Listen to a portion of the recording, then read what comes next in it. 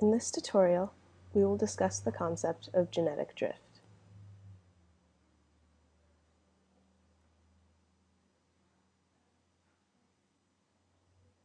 Genetic drift is one of several mechanisms by which evolution can occur in populations. Genetic drift occurs when random factors impact the frequency of alleles in subsequent generations of a population. Genetic drift is random, and it happens in every population due to chance. Because of this, smaller populations are more susceptible to the effects of genetic drift.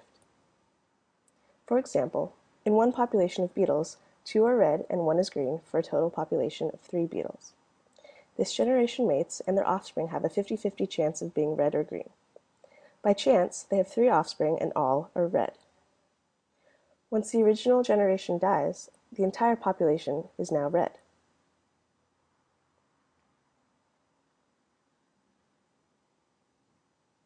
In another population of beetles, 10 are red and 5 are green for a total population of 15 beetles.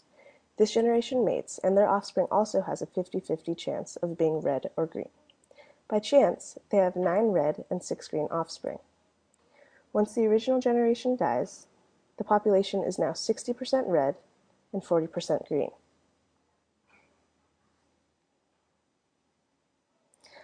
As you can see, the first population of three beetles was more affected by genetic drift in that it resulted in a complete loss of the green genotype after just one generation.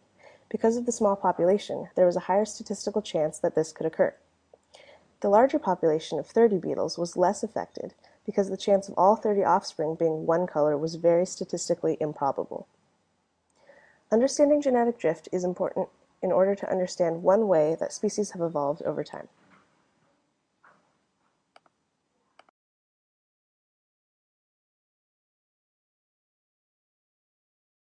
Created using Powtoon.